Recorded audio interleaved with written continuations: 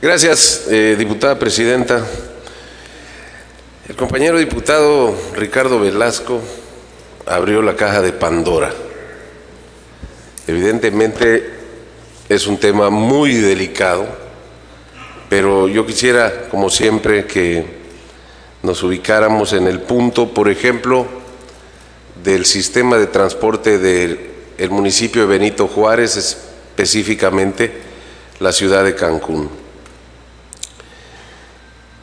Ya por una, por una situación en donde no respetan la autonomía municipal, en donde fueron gobiernos verdaderamente bárbaros, como lo fue el gobierno de Roberto Borges Angulo, del PRI, creó una figura que se llamó o se llama los TTE, Transporte Terrestre Estatal. Esto porque la Constitución faculta a los municipios a tener un transporte público urbano en la modalidad de camión. Y de pronto, para poder hacer la competencia desleal, para echar atrás más de 10 años de trabajo, de estudios, de tratar de conformar una ciudad que pudiera tener una movilidad acorde a lo que ocupan decenas de miles de trabajadores. Y ahí están, eh, ahora tenemos a la gente jugándose la vida todos los días en Cancún, en estas combis, que van en retroceso de cualquier estrategia de movilidad en el país.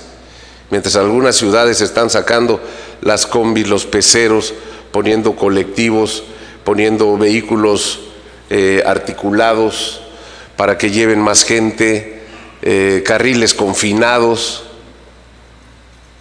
A Beto Borges se le ocurrió que había que meter combis para destrozar en su favor y en las placas que detentan que esta legislatura debe de pedir por vergüenza que nos digan por transparencia quiénes detentan las placas de las TTE y se van a llevar una sorpresa.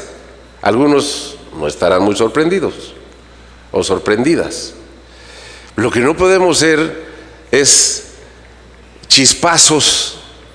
Tenemos que entrar de fondo al tema de la movilidad, que se avanzó en una ley que pareciera que es una ley y un instituto que se hizo a modo de los sindicatos de taxis que son hoy día un poder fáctico en este Estado y que estamos secuestrados por sus conveniencias.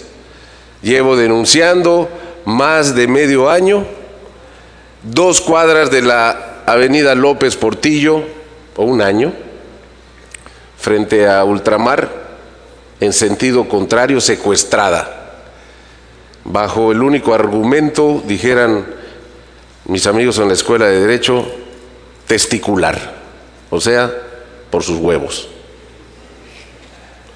Entonces, compañeros de esta legislatura que nos prometimos ser diferentes, yo realmente espero que tomemos cartas en el asunto y empecemos, ya que el diputado Ricardo abrió la caja de Pandora, no la cerremos hasta que ya no haya demonios adentro. Muchas gracias, es cuanto.